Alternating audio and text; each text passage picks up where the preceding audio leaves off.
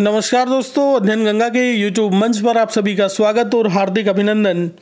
और अब अभी की जो ब्रेकिंग न्यूज़ है, वो यूपी पीएससी प्रवक्ता आश्रम पद्धति प्रवेश पत्र जारी। तो देखिएगा यूपी पीएससी के द्वारा जो प्रवक्ता की पोस्ट पर जो परीक्षा कराई जाएगी। आश्रम पद्धति से ये संबंधित है। इसके प्रवेश पत्र जारी कर दिए गए हैं। जी हाँ बड़ी खबर यूपी पीएससी प्रवक्ता आश्रम पद्धति प्रवेश पत्र जारी कर दिए गए हैं और इसकी परीक्षा 26 नौ 2021 को आयोजित कराई जाएगी। तो 26 नौ 2021 को आयोजित होने वाली यूपी पीएससी प्रवक्ता आश्रम पद्धति के प्रवेश पत्र जारी हो गए हैं।